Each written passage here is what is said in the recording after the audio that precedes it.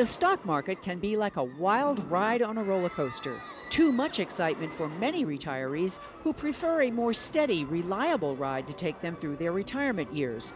An annuity is one way to do that. But surveys show annuities are misunderstood by those who might benefit from them the most. Do you know what an annuity is? Um, uh, no. Do you know anything about annuities? Very little. Do you know what an annuity is? no, I don't. The Insurance Information Institute surveyed a thousand people and found that only three out of every ten could correctly define an annuity. An annuity is an investment contract between you and an insurance company. It can allow you to save money on a tax deferred basis or provide you with retirement income immediately.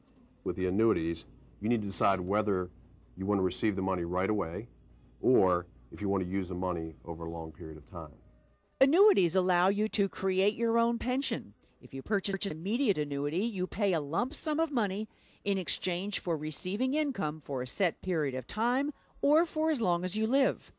Immediate annuities begin income payments immediately, and you're taxed on the money you withdraw, not your initial investment.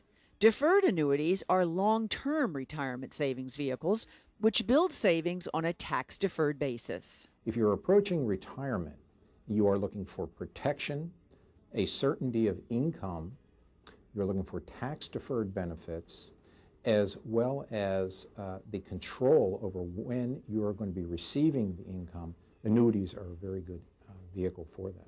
Do you know what an immediate annuity is? One that happens quickly? Do you know what a deferred annuity is? Um, one that happens much later. You, you put it off till later. I, wish I knew what an annuity was. This is Carolyn Gorman.